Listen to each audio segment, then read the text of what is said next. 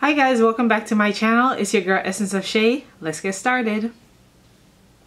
I get this, this is a common question that I get asked all the time. And sorry if I'm looking down because I'm looking at my notes because I want to make sure that I get all the bullet points. But back to what I was saying, this is a common question that I get all the time. And I figured why not just make a video in case you might want to know but are too embarrassed to ask or don't really know why it's not good for you. So I always get, Shay, can I use beeswax in my hair? I hear everybody talk about not being able to use beeswax. Why is it? So the roundabout way, the, the quickest answer that I could give you is no. You shouldn't use beeswax in your hair. I started off with beeswax and I can tell you this that I wish I didn't because of the steps that I had to take to remove it from my hair and what it did to my locs in the beginning. So taking it a little step back, beeswax is an all natural type of wax. Um, it's made from the honeybee uh, workers. So even though it says it's all natural, sorry, my phone, even though it says it's all natural, doesn't mean that it's good for your hair. Essentially, when beeswax gets hot, what does it do? It melts through.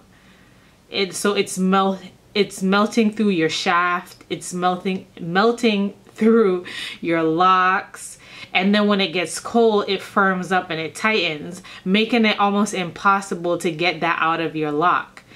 In turn this can cause buildup um, residue that greasy uh, feeling that goes through your locs is just all around not good.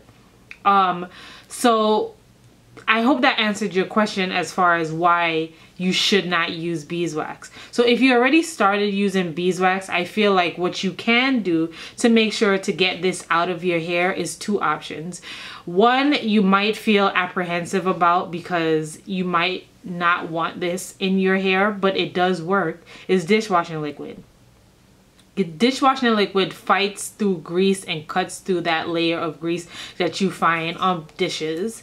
And why can it not work in your hair? I've tried it a few times. I've tried it on my boyfriend and it actually really works.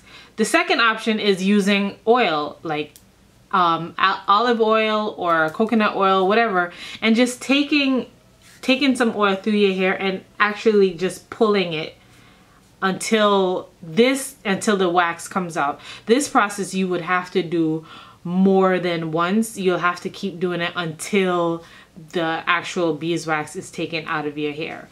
I strongly suggest not using beeswax and if you already started using it these are the tips that you can use to take them out of your hair i hope this helped you guys so much thank you guys so much for watching and if you haven't already check out these videos yeah yeah yeah yeah check them out and like comment and subscribe if you haven't, but I'm pretty sure you did. And I'll see you guys next time. Bye, Tiger Lilies. See ya.